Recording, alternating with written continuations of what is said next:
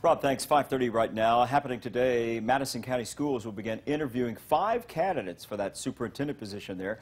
School officials say that they will be doing individual interviews. WAAY 31's Casey Albritton is live for us this morning with what criteria the Board of Education could be using to make their selection. Good morning, Casey.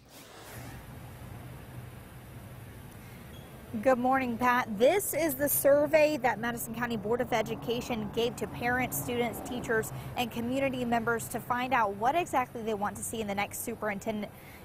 This survey is literally 21 pages long, front and back, and inside of it, we learned that stakeholders prioritize safety and communication. A total of 644 people took the survey this month and they ranked the importance of superintendent experience in several topics. The number one most important topic was communicating effectively, and the second was ensuring safety and discipline. A majority of survey respondents also said they would like to see the superintendent have a master's degree.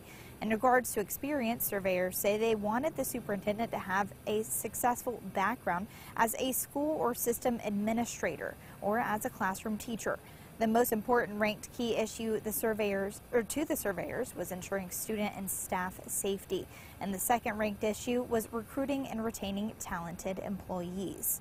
The district said this could be some of the criteria they used to select the next superintendent, and the interviews begin today at 5 p.m. Reporting live in Madison County, Casey Albritton, WAAY 31 News.